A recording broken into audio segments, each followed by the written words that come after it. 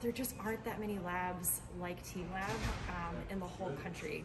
So any students that are looking for a really serious hands-on education where they get to benefit from the expertise of machinists like the ones that we have working here, as well as the curriculum that lets them kind of flex those muscles.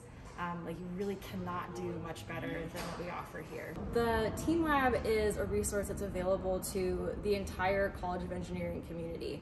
And that goes for um, incoming freshmen all the way up through you know, grad students, even faculty and staff are very welcome and encouraged to come in and use this space. And we want them to have the practical knowledge of you know, the part that they design on the computer um, and they can simulate what that actually means in real life. And we think that that makes people better designers, better engineers, better communicators. Um, it just gives them an appreciation for the real physical world that we're designing for and interacting with. For students who have no prior experience, um, this is actually a great place to come. And we give you the tools and the confidence to be able to come back here and know that you can actually you know, design something and decide what you need the machines for um, and start to make those decisions confidently. The space was dedicated specifically just for CNC machining.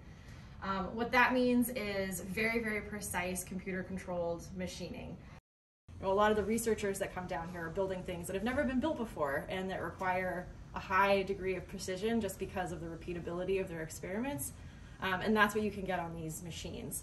So this is the heart of the machine shop. This is where all of the manual mills and lathes live. So students who are um, who are wanting to work up to being able to use the computer controlled equipment will first learn on these machines so that they understand the machining principles before they then jump into an automated piece of equipment.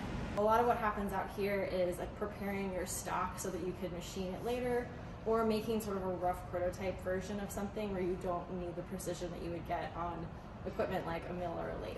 Time you need anything in the lab, be it a drill bit or other kind of cutter or basically anything else, um, you'll come up here and a Team Lab staffer will help you find whatever it is that you need pretty much anything that you want to make down here, we have the tools and we have the expertise to help you make it, which uh, is just an incredibly powerful mix uh, that should empower the whole college.